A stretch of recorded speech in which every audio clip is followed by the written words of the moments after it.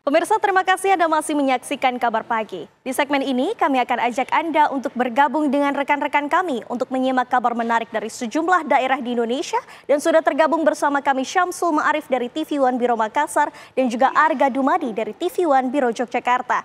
Kita ke Yogyakarta terlebih dahulu. Selamat pagi Arga Dumadi. Ada informasi menarik apa dari Yogyakarta?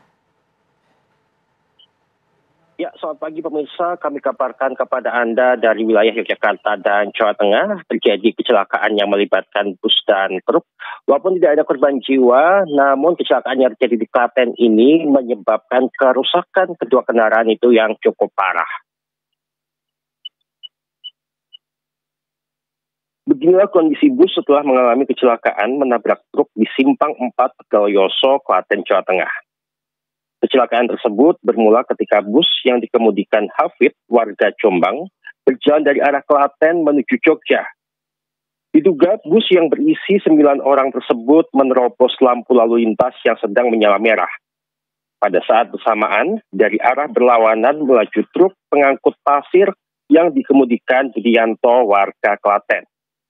Jarak yang dekat membuat kedua kendaraan tak mampu menghindar sehingga terjadi tabrakan. Sopir truk dan satu penumpang bus mengalami luka ringan, sedangkan kondisi kedua kendaraan rusak parah pada bagian depan.